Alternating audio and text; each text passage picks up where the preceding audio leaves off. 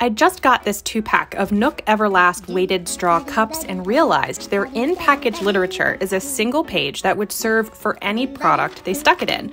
It's got transition cups, dishware, hard spout sippy, soft spout sippy care warnings and instructions, and pacifier care warnings and instructions.